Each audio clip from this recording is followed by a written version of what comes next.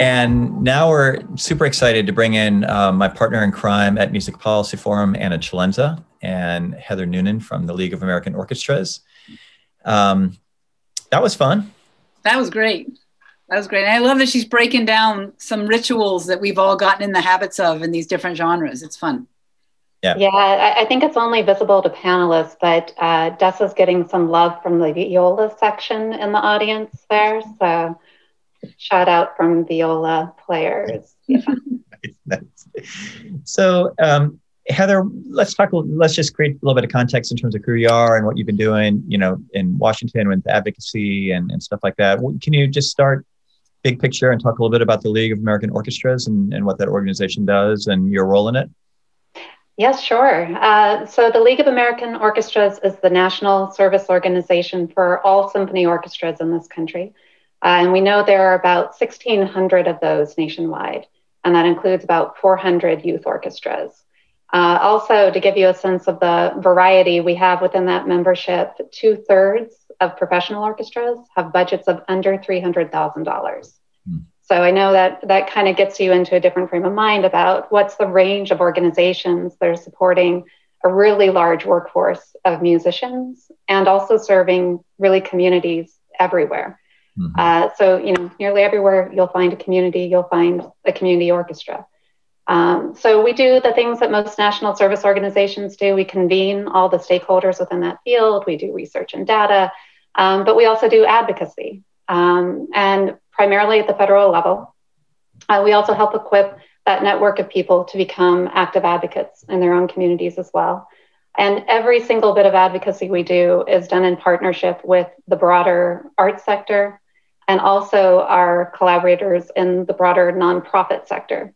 So that kind of brings me, I think, to you know one of the reasons the league is here today is actually because of our role as a collaborator across the network of federal arts advocates, and that puts us at the table with you, you know you named the organization, you named a few of them that have been created just in the wake of this pandemic mm-hmm. uh, to try to identify a policy platform that we could collectively advance to Congress um, and we're, of course, at a really unique moment right now where we have um, ongoing federal policy issues that need attention in a new Congress and a new administration. But we also have layered on top of that all of these new urgent needs related to COVID relief. Um, and so I, I, I, liked Dessa's phrase around, you know, laying track as the train is going. Uh, that's kind of where we are with the COVID relief scene. You know, a lot of this is all new new forms of relief that have never been created before. So can can I jump in with a good question to, to build off of that and some great work that you all have done and um, that has to do with your um, arts education advocacy. I mean, you mentioned that there were youth orchestras and everything else. Um, be, even before COVID, there there was already uh, clear awareness that there were inequalities, right? There were some public schools that had very strong music programs and then others that weren't, to the point that um, sometimes it, it's even talked about as being a civil rights issue. And so, could you talk about some of the things that now, especially that COVID's happened and money is even crunched all the more, what are what are some recommendations you have for all of us that to, to kind of help move the train along to make arts education not only important, but equally distributed? Yeah, it's such a key issue, especially as we look ahead to who gets to participate in these art forms, both as a profession and even in their personal lives. So we know for decades there's been this massive inequity in access to arts education in the public school system. And I would say, you know, for the last 20 years, there's been no question about the benefits of arts education for every student's success in school, work, and life. So there's a strong foundation of research. We don't even have to argue the case that it's important to have. The question is can you prioritize funding this and making it accessible for every school kid? Um, and so the last time, it's been way too long since we've had a national snapshot on the status of arts education in the schools. But when this happened under the Obama administration, the results were absolutely clear. The highest poverty schools had the least access to arts education. And then Secretary Duncan said in the, the press conference with this release, said, this is absolute proof that the status of arts education in the schools is a civil rights issue. Um, so, what does that mean for federal policy? Uh, well, the role of federal policy in public education is to level that accessibility. Um, that's why the Elementary and Secondary Education Act was created, was to address civil rights issues in public education. So the, the two biggest things that we're focused on right now is um, reminding everyone that 90% of education policy is made at the state and local level. So if this is an issue you care about, it's really worth getting active with that, you know, the school system level, at the state level, and the Arts Education Partnership, which is a national collaboration across the National Endowment for the Arts and the US Department of Education, has terrific resources to get folks plugged into those policy conversations at the local level. Um, but the other is that we really uh, we need the U.S. Department of Education to help put arts education back back on their map. They need to collect data about the status of arts education in the schools, and this is something they can decide to do without an act of Congress. This is a decision the administration can lead right away. So that's one area we're focused on. Um, the other, um, just really quick thing is that Title I funds are meant to serve these schools that need to have a more level playing field for all kids in all parts of education, and they can be used for the arts. So we need, again, that really clear message. The arts are a core academic subject of learning, and you can use Title I funds to support them. Oh, that's great. Thanks. Um, do you have a question, Michael? I got another one. Yeah, keep going. So I have another one. So another one, and this is an issue that perhaps we haven't had to deal with during COVID because no one can travel, but something that you all do that that I think is often forgotten or not noticed is um, artist mobility. It's really hard when you're bringing over a guest artist from a foreign country. And so, could you talk about how you help sort of um, streamline that process of artist mobility? Sure. And again, we have terrific partners in this along the way, too. Um, so, again, with the help of the National Endowment for the Arts, uh, many years ago, we were able to get off the ground a website called artistsfromabroad.org. And it's actually become, it's not just for orchestras, it's for all art forms. And it's become the only place to go really to understand how to do the US artist visa process if you can't hire an attorney to get through the visa process for you. So it covers everything from completing the forms all the way to the US tax process for that artists have to comply with once they get here.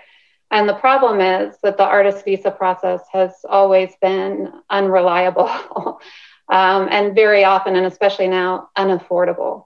And the chilling effect that that has on international artistry, international cultural collaborations, um, even our economy here and the work that US artists wish to do alongside their international counterparts has been really challenging. Uh, so we work kind of on both sides at the same time. One is this technical assistance, um, and our friends at Tamizdat. Uh, if you don't know Tamizdat, be sure to get to know them. It's a fantastic collection of attorneys who, who do this 24 hours a day. Um, we partner together through our resources to help folks get the visas as best they can. And then at the same time, we're working to try to improve the policy. Great, thanks.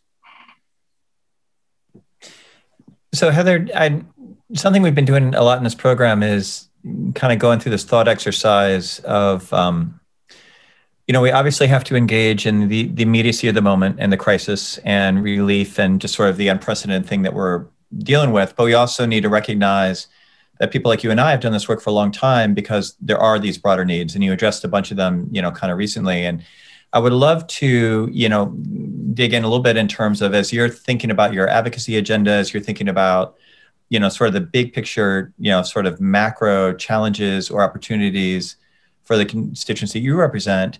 You know, pre-COVID, you know, what would you have anticipated would have been the big priorities beyond kind of the education piece you're talking about? Are there sort of bigger picture structural things that were on your radar that you were you were engaged with? Um, like what would have been the kind of the agenda rolling into 2020 if we hadn't had COVID? Oh wow, uh, it's big. I'll be honest with you. We we had just come off of uh, international treaty negotiations around transporting musical instruments mm-hmm. across borders if they have you know specialized woods and that sort of thing. It, it was a completely different scene. Yep. Um, but uh, you know, the other issue, yeah, the the arts education issue is perpetual, really. Um, obviously, focused on trying to increase resources for the dedicated cultural agencies, um, NEA, NEH, and the Institute for Museum and Library Services, another perpetual issue. Uh, we spend a lot of time on tax policy. So I'm extremely jealous of Dessa's connection to the Treasury Department right now. uh, this is like the stuff of dreams for, for advocates like me. Uh, so, you know, um, and we look at it in a couple of different ways. You know, charitable giving incentives are really critical for the nonprofit arts sector. And uh, we know that individuals give first and foremost from the heart, right? Uh, who they give to and when they choose to give, you know, is very influenced by that. But also, how much they give can be really sensitive to tax policy. So, one of the things that was on our agenda before COVID that might not have advanced if it weren't for COVID was this idea of a universal charitable deduction. Mm-hmm. So, now that we have so many taxpayers who no longer itemize after the last comprehensive tax reform, they lost that tax incentive to give more. Uh, and the nonprofit sector was working hard to try to get this idea across the line. Shouldn't every taxpayer get an incentive to give more? Um, and it didn't really come through until the COVID relief package. Uh, hmm. there was a you know relatively modest but very important universal charitable deduction created there. Uh, it was extended in the last relief bill for the rest of uh, this year, and you know we're working to try to make it permanent. It, it kind of reminds me, you know, when you're talking about you know eligibility for gig workers for unemployment. Again, it was uh, I don't think that was something that we would have been advancing, right? Absent this in the specific way that we did. And it's a benchmark to have it there. But looking ahead now, we need to ask how can we make this recognition of the multiple ways that creative workers work permanent? Yeah. And how can we get it into other places in federal policy beyond these, you know, limited relief packages? So you you spoke about that earlier, but let's dig down a little bit deeper. I mean, the, the notion of the kind of cross discipline sort of collaborative work that you've done through the cultural advocacy group. I mean, could you spell out a little bit more like what is that meant to, you know, approach Washington less from kind of a zero sum game where everybody's just fighting for their own sort of, you know, peculiar interests versus like, okay, how do we try to carve out something more holistic and intentional that that you know will lift everybody? And and so talk a little bit if you don't mind about cultural advocacy group but also sort of where you know where that work is like what, what's happening with that that network at this point? Yeah sure. Um, so don't bother googling the cultural advocacy group because there's no website there's no dues it, it only exists in our own imagination but it's basically like a roundtable where arts advocates at the federal level sit together to think about how we can collectively advance a common agenda. Um, you know, on the Hill, they don't really see the arts as 23 different things.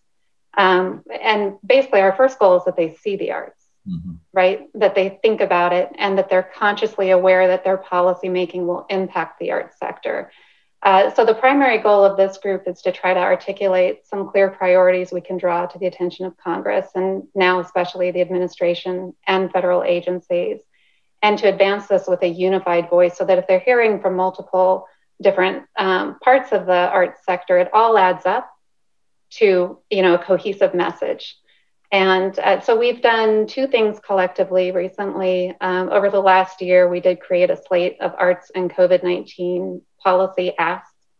Uh, and I have to say, um, what happened uh, due to the online nature of advocacy now is just amazing for ad. It's, it's democratized the process in a way that has never happened before. Mm-hmm. So you don't have to do a fly in to Washington. You don't have to do a Hill day to be heard.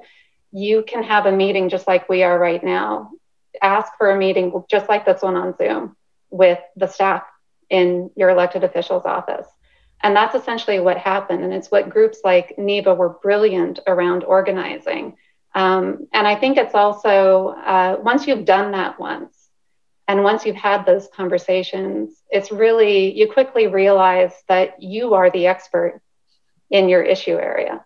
You know more than the elected officials and their staff do about this policy, and that really what they need to do and what they ultimately often do is regard you as their expert on arts issues. So, um, you know, what we try to do at the national level is provide advocates with information to inform those engagements, let them know when it's the sweet spot for making that outreach, and uh, then keep monitoring what the needs are. And I would say, you know, there are kind of two really important things for advocates to be doing right now. And one is set those relationships with those offices because they're they're early still in the new Congress and the new administration, and they're impressionable. So, you know, going in first to let them know who you are and what the needs of your community are really important. And the other is to just really start taking note of the unmet needs, especially when it comes to COVID relief. Uh, mark those, make sure we're communicating about those. I think that's such an important point. And, and I think, I mean, you made like three points that I think are super important to, to emphasize. I think one is on that access point, policymakers love to hear from the arts community. It's not a matter of access, it's a matter of what you do with the access. And, you know, for, you know, those Hill jobs by and large are awful jobs. I mean, you know, those staffers work so hard and it's not easy work. And when they have an opportunity to get into a different headspace for 45 minutes to think about what's happening in their cultural sector at home or in the district, they're, they're typically super excited to have that opportunity. And you know, I think something that you just emphasized, something I heard you just say, like, we don't always have to have the solution, right? We just need to know what's happening in our community, in, in our sector, in our industry. We need to be able to share that with authenticity and create that relationship where you're the expert that they want to come back to you and say, hey, we're thinking about doing X, Y, Z. How would this impact you? Would this be helpful or not? And, and there are definitely times when the field has a solution or has a specific thing they're pushing but oftentimes, if you don't, you know, it, it's based on having that relationship, which doesn't always have to be, you know, we need X, Y, Z. It's more like just know what we're up to. And and and I do think Zoom has completely unlocked that because in in my experience, you know, doing this work for 22 years, I mean, a lot of a lot of the issue is who's on tour and has time to go to the hill, you know, and if you can do it from from home, you know, that's you know so much the better. Um, so I really appreciate you you making those points. Um, the uh, yeah talk about i mean what was your you know again as someone who's done this work for a minute uh, what what was it like for you to observe this online explosion last year and and these organizations cropping up in a hyper sort of entrepreneurial way? I mean were you and your colleagues what, what i mean i'm just curious like how did you process that? Like what was that like for you? Yeah i mean I, will just speak for myself. I I think it was dreamy, because um, a lot of times, you know, we feel we have to convince people that um, that the Congress works for them. Right. You know that that that they, you know, they're that it only works really if their stakeholders are engaged. Um, so to see a whole sector say, "I belong at this table," yeah. you know, and, and claim their seat at it I think was fantastic and and is now. And also, I'd say uh, the other thing is that usually when we do these episodic events, like a, a day or a week, uh, you know, a couple years go by before people think about doing it again. I think that artists now see this work as part of their job description. Yeah. And and that that means that it won't just be a moment of arts policy being made. That this is something that should just keep going on. Yeah. And you know, kind of what you were saying about um, getting to know policymakers. Um, one of the best things you can do is show up at one of their town halls that has nothing to do with the arts, and be there to listen to what the priorities are, and then to tell them that the arts and the creative sector workforce is the answer to that priority. Mm-hmm. You know, it's to to have the arts showing up in every space, whether it's the Department of Treasury or the Department of Defense. You know, there, there's really just like the arts are in every part of our life. They show up in every part of policymaking as well. So when I, you know, you see this activity, you think this is this is it. This is the time that it gets locked in. Yeah, let, us dig in on that a little bit, and, and that dovetails really nicely with a, a question Delogue Smith just put in the chat you know, around this idea of how do we keep arts, um, you know, inside the kind of conversation about wider human need and economic activity instead of just kind of siloed as arts. And I mean, I've got some thoughts on that, but I'd love to hear your take on on what you're anticipating uh, from the Biden administration, what you'd like to see from the administration, and and also maybe I know you're working on some recommendations and some things that you would like to see them in terms of approach. Could you speak a little bit about that that kind of holistic nature of arts in every conversation? Sure. Um, I mean, I'd love to hear your thoughts first, Michael. But I think I, I, think I heard you say a couple things earlier that might kind of hint at it. Um, but you know, the idea really is going back to what you were talking about. What does it mean to build back better? Mm-hmm. Which I'll just say for orchestras, you know, they're thinking about this in terms of their culture. You know, which is something that you know Dessa talked about. You know, what does it mean to build your culture back better? What does it mean to build your partnerships back better? Um, and so, you know, we're at a moment where the, the country is having a conversation about what does it mean to build back better. Uh, we've got an administration whose priorities are, um, you know, economic recovery, climate change, racial equity, a response to the COVID 19 process. And I think the path forward is that we say the arts are a part of all of those conversations um, and we show up at, at them. And so this um, transition document effort you've mentioned is uh, across many dozens national groups, regional and state ones as well, uh, articulating where we think the arts fit into all of those parts of federal policy. Uh, so we've been working on that, um, early glance at it to the Biden team as it was transitioning in, and now have a, a longer version ready to roll uh, probably by the middle of next week. But the idea of, of statements like these or platforms like these aren't that they do the job, right? It, it's just a, uh, it's something to kind of ground our collective efforts. Um, there will be more to do beyond what's on those pages, but the the biggest uh, I think goal for us is to show up everywhere where these policy conversations are happening. I think that's so smart, Heather, and I, I think I just want to echo your enthusiasm um, for just the, the incredible blossoming of engagement and activism that we've seen and you know sectors coming together to work in good faith to not be cynical about the process to just you know understand what it means to do the work um, and to hopefully do it long term and, and understand again you know what I, I said earlier is that you know obviously everybody's in disaster relief mode because we have to be but there are reasons that organizations exist like music policy forum and league of american orchestras and many others that there are ongoing needs that we have to be engaging with. So this isn't kind of parachute in, get really funding and, and get out. It's like, no, long term, what does that sort of advocacy um, conversation and ecosystem look like? And and and you know, really again, changing. I, I, think to your point, changing. I mean, I think it's already happening. I think I, I, think the conversation is has been changing for many years, and we saw a lot of this in, in sort of early signals of this in the Obama administration about understanding that you know arts and education arts and housing policy arts and, and, and public health arts you know fit into all these different components. It just didn't get where it needed to get to during that administration. And then of course the last four years um, the trump administration really wasn't engaged in, in any of those conversations at any level. And so it's kind of restarting what had kind of been growing over the eight years of the obama administration and seeing what it's going to look like in practice in terms of you know what does it mean to have people in positions of power across the federal government that are that understand this and are thinking about this or are curious about it or want to see kind of how this all fits together. So, and and that are artists. And I that mean, are artists. Let's, let's have artists populate, you know, the policy yeah. scene. Let's Absolutely. Let's, let's get them elected. Let's, you know, the, and and to be honest, you know, the most convincing thing I've ever seen with policy leaders is when they actually see an arts engagement and right. participate in it firsthand. So huge right. opportunity there. That's right. Well, and, and if I can just jump in, one other thing that, that we haven't mentioned that I do think is important, and it's very important to everything that, that you guys have been doing, but also the arts and, and human flourishing. One thing I've noticed is I have a lot of students who, you know, weren't music students, but have discovered music in this and that they're learning to play instruments. I think we're going to have some bigger audiences, and we need to, you know, you guys do such a great job of bringing all of that together.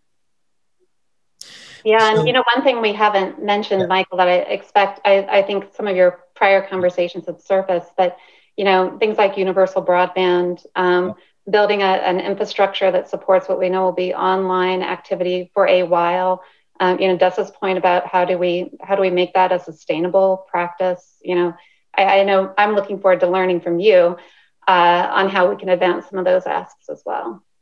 Yeah, and, and FCC Chair, um, Acting Chair Rosenworcel announced, uh, yes, I think this morning that they're doing a workshop on February 12th on how to implement. I think they have about three and a half billion dollars of, of funding of broadband access grants. So they're starting to get their head together at the FCC about what that looks like in practice. I mean, all these things are just coming together at a breathtaking pace. I mean, one thing we haven't talked about, which we need to, which is less aspirational and more just nitty gritty, is how you're seeing the rollout of of the Save Our Stages or the shuttered venue operators uh, grants, um, how that's going, particularly for your sector, and kind of what are you anticipating that might look like over the next six months in terms of that $15, $15 billion worth of funding? Yeah, wow, that's like an hour long conversation yeah. on its own, isn't it? Um, well, long story short, uh, hit the refresh on the shuttered venue operators grants program just as often as you can. Yep. So SBA has six personnel administering a $15 billion program, and they received 7,500 email questions on this topic. and I can tell you they are doing, you've heard this, I think, last week too, they are doing, and you said it at the top, they're doing their absolute best to try to get clear information about how to access this program. Um, they issued an FAQ, as you mentioned, but we've also heard that they're going to keep adjusting this guidance. Mm-hmm. And the reason is they want to be responsive to the stakeholders who are mm-hmm. actually going to use the funds. They want to make sure that this works exactly the way you know you would hope it would, is accessible, um, goes to you know in in the right time frame in the right places. So unfortunately, I think it's going to require more patience to watch this guidance roll out. It won't be done tomorrow or three days from now. Um, and meanwhile, it's a real challenge because um, you have to choose between the Paycheck Protection Program or this grant option. There are risks, you know, involved if you don't know how the eligibility criteria work. So I, I think the thing I would just say is to um, keep reading the guidance, the official guidance that you see from the SBA, um, and then really know what your needs are and uh, start gathering, as, especially for independent artists um, as much as you can do to start gathering financial information from both 2020 and 2019. Um, and then if you think that you might be tapping the Shuttered Venues program, go on to grants.gov and understand what it means to get registered there. You can do that in advance, even if you don't ever end up applying, but it does take time. Um, and it's something that you want to go ahead and set in motion now as we wait for the final guidance. And uh, one final question is a big picture question. Um, so, and this isn't really doing it. So, just as a thought exercise. So, if one of the challenges of our field for a long time has been the sort of sense that maybe a 5% increase to decrease in NEA funding is some sort of proxy for cultural policy, right? I mean, a lot of energy has gone into you know, kind of smaller, more targeted things. Of course, we love the NEA, blah blah blah. I mean, it's not about the NEA. It's just that that's sort of been a lot of the type of things that that our sector has, has sort of asked for politically. And then you have this thunderbolt in obviously an unprecedented moment of crisis where you can combine again all 50 years of NEA funding and NEH funding together, and it still doesn't get to $15 billion, right? So you go from like this low kind of targeted investment to this massive investment. We need this investment to go well and beyond we need, need it to go well we need to be perceived as going well. So it's not a one term you know one time only thing that just happened but it, it's a it's a change in sort of the thinking in terms of of how we align public resources with the art, arts and cultural sector. Could you like what are you thinking in terms of you know let's just say they spend out the money we get to some sort of recovery as many venues are able to stay open and as can be you know i mean like let's just say it, it, works or it works as well as it can given the you know sort of unprecedented nature of the experiment. Now we're a year down the road what are you hoping is sort of the takeaway from that experience on capitol hill in the administration?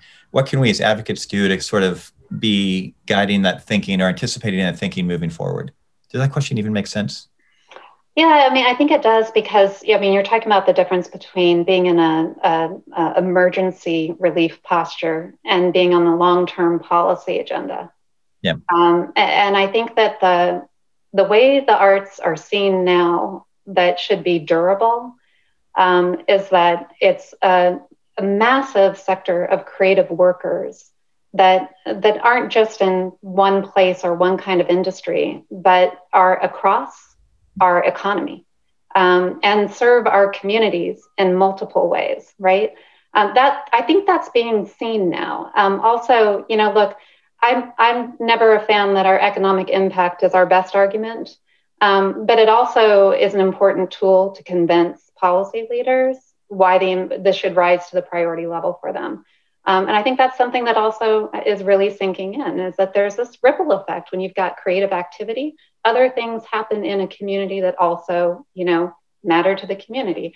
So uh, if we carry those two points forward consistently, and we, we and we identify all of the places, whether it's workforce development or public education um, or telecommunications, uh, where the arts show up, um, if you were to add up the collective federal investment in all of those agencies, it could triple $15 billion if it's done right, right? We, we also have to track where the policy is connecting to us. But it's a piece of work we have to do on the other side as well. That's um, really well stated, and we have a lot of work ahead of us. We everybody does, and it's going to be exhausting and exhilarating and fun, maybe, hopefully, um, and different. Um, but we just so appreciate you know the work that you and, and all your colleagues do and, and the broader network of advocates that have been doing this work for a long time um, and and super appreciative of you spending time with us today. Um, we're at time so we're, we're going to have to wrap up here. Um, next week though next week's program we'll be sure to share the um, recommendations to the administration uh, and make sure everybody has a link to that that's interested in and getting um, you know a copy of what you guys are up to. So, with that, we are going to bring this to close again. Um, thank you so much, Heather and Dessa and Anna, uh, for joining us, and Alex Donovan for producing, doing a great job as always. Thank you all for your great questions and, and comments and feedback. Again, if you have questions, concerns, suggestions, constructive feedback, all that good stuff, always hit us up at musicpolicyforum at gmail.com. We'll be back next uh, week on February 5th with another uh, edition. And I hope everybody has a safe and fun and pleasant weekend. Thanks again, and we'll see you next week. Bye. Bye.